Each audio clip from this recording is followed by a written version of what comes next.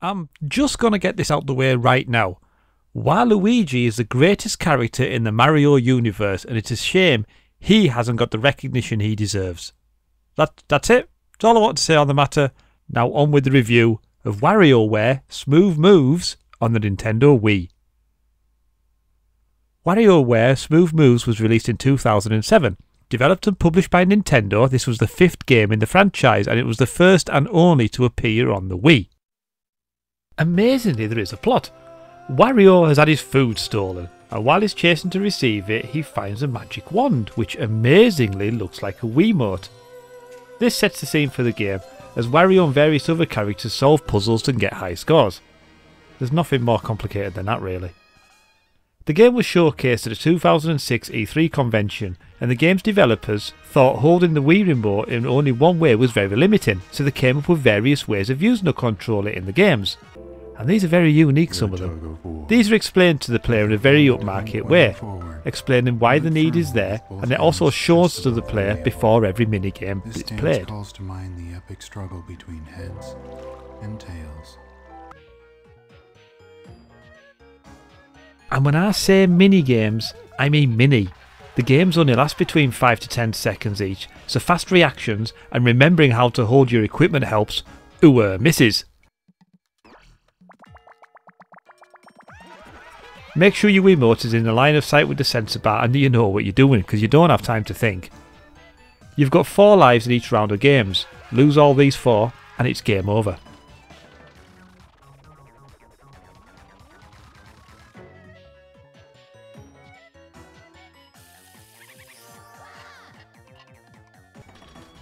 The game also uses the speaker built into the Wiimote to add to a sense of environment as well. I do like it when the games utilise this feature and it's a welcome addition.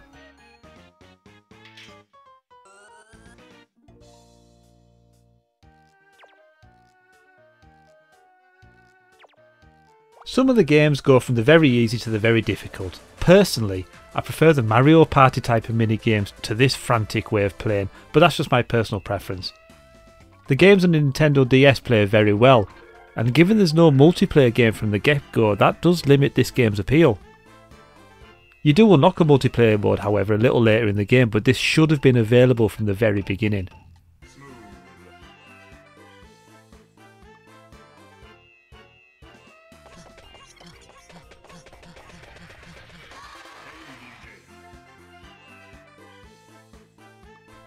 The Nintendo is spoilt for choice when it comes to its multiplayer party games. The aforementioned Mario Party is a prime example, and this game kinda sits in limbo. It's a fun game for short blasts, but the Wario franchise could have done so much more. There's nothing much different to the DS games here. For example, it doesn't use a nunchuck, so it's a Wiimote only game as well, which is a shame. They could have done so much with this and there's scope to use an add-on as well. The reviews for the game were very strong. IGN gave it 8.2 out of 10 and GameSpy gave it 4.5 out of 5. However, although the game is frantic has got some nice touches, in my opinion you're better off getting any of the Mario Party games, especially the GameCube ones. Mario Party 5 is amazing, but more on that a little later in the channel. So that's all for the 50th game review here on Noob Games Review. Thanks for everybody that watches and subscribing, and I will see you next time for the next review.